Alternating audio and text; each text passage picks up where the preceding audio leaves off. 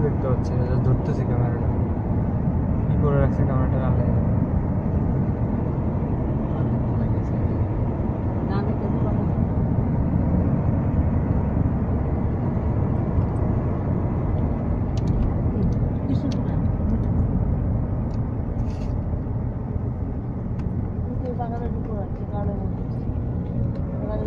আল্লাহ এটা বাগান না?